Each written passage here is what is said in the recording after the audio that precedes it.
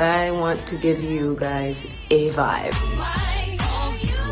And my vibe for summer is more is more.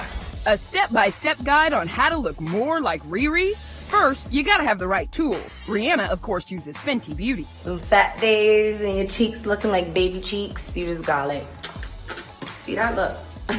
Next, the makeup must have in her bag her bold red lipstick. I started getting in trouble for wearing red lipstick too early in my career.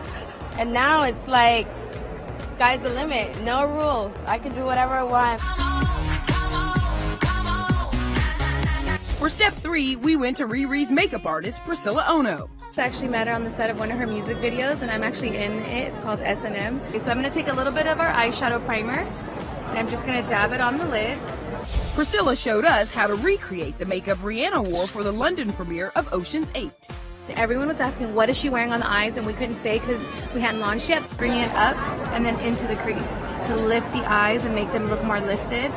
Well, now Rihanna's Moroccan Spice collection is launching. Use the bronze and gold tones to look sun-kissed. Line the lip, then fill it in. Our palette has a color called Evil Genie, inspired by Rihanna's Wild Thoughts makeup in her video. When I'm with you, all I get is wild thoughts. But the best beauty tip we got from Rihanna herself.